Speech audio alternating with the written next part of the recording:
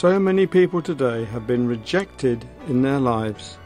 It may be in the family, or in a job, at work, or best friend, boyfriend, girlfriend, at school.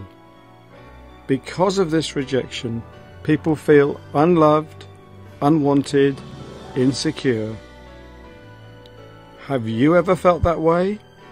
You don't have to. In the Bible, Matthew 21, verse 42 says, The stone which the builders rejected has become the chief cornerstone. You can be that cornerstone. Yes, you. Zechariah 2 verse 8 says, You are an apple of God's eye, so don't feel rejected.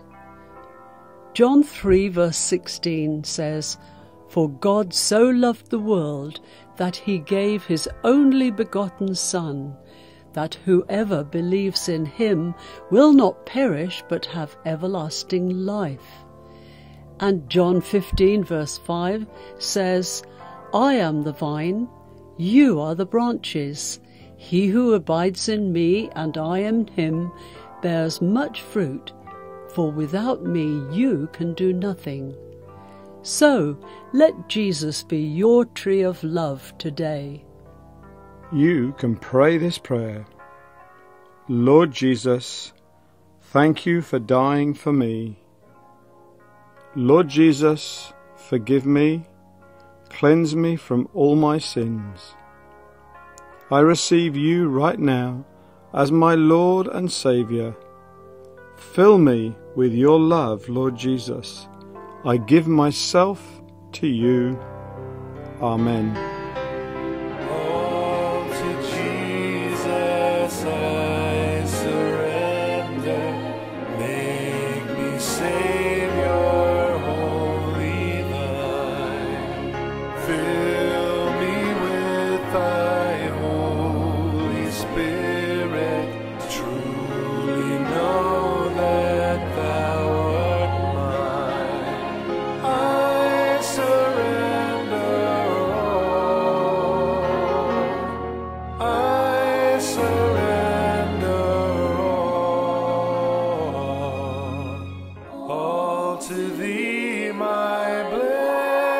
Savior, I surrender.